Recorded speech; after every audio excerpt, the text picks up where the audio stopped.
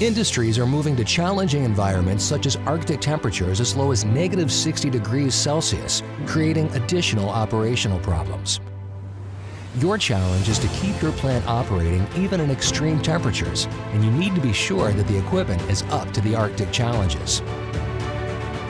What if your valves continue to operate reliably at the lowest ambient temperature to ensure your plant efficiency? Fisher control valves proven in extreme conditions keep your plant operating. When temperatures are as low as negative 60 degrees Celsius, valve assembly failures are likely to occur. Polymers, which are, for example, used in seals, O-rings, and diaphragms, lose their flexibility at these temperatures.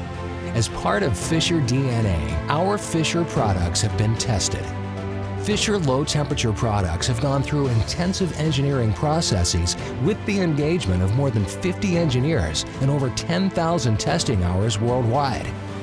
Emerson engineered critical components within actuators, valve bodies, positioners, and other accessories, which are then combined in a single control valve assembly. These assemblies comply to the CUTR directive and to the GOST norm 1515.069. Enable reliable control valve in your plant with Emerson. Keep your plant operating without exposing your personnel to extreme cold conditions. Improve your plant availability by retrofitting existing control valves with up-to-date technical solutions. Work in partnership with Emerson to benefit from the large low temperatures portfolio.